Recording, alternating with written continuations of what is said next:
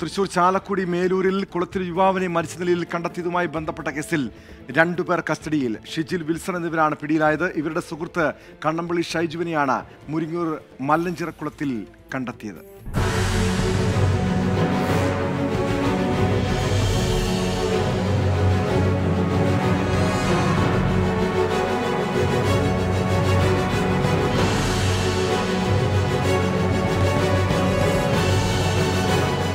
ഇന്നലെ രാത്രി എട്ടേ മുക്കാലോടെയാണ് ഷൈജുവിന്റെ മൃതദേഹം മല്ലഞ്ചിറക്കുളത്തിൽ നാട്ടുകാർ കാണുന്നത്.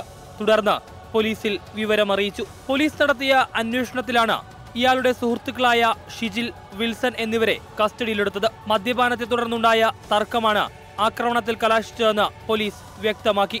ഇരുവരും ചേർന്ന് ഷൈജുവിനെ മർദ്ദിച്ച ശേഷം കുളത്തിലേക്ക് തള്ളിയിടുകയായിരുന്നുവെന്ന് അന്വേഷണത്തിൽ കണ്ടെത്തി.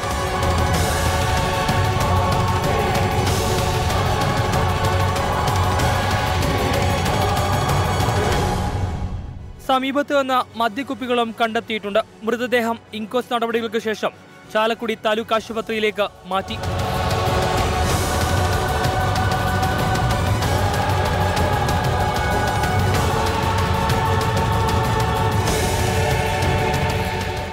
Twenty four Thrissur